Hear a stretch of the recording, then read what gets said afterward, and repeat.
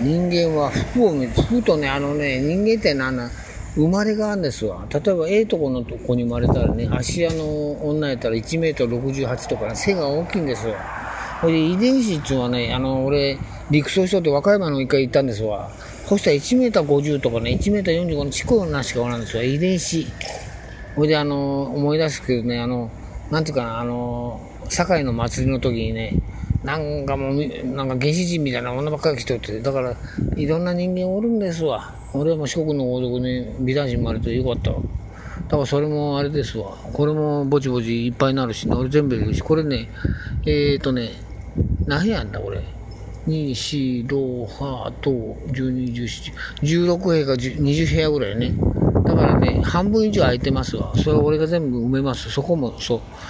あの、わしは IT 企業や、IT 関連企業で、インターネット経歴22年やからね、電子書籍70冊出してます。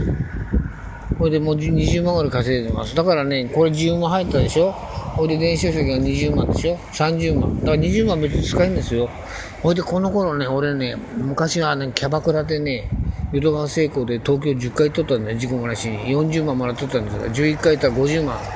1回行くと飯5000円。で、全、全線高速でね、岡坂乗ってね、4万なんですよ、4万5000円。だから40万ぐらいもらっとったんで、全部キャバクラ使いました。代わりグラマーのこう、お尻のところでコーヒー飲む人ね、ええ女でした。それがね、無口でね、ほいで一人ね、あの、一緒に飯食いたんで500円玉3000円ぐらい持ってね、4000円ぐらい。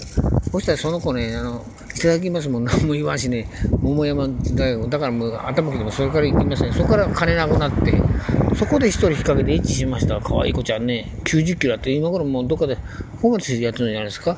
こことカーオールの以上。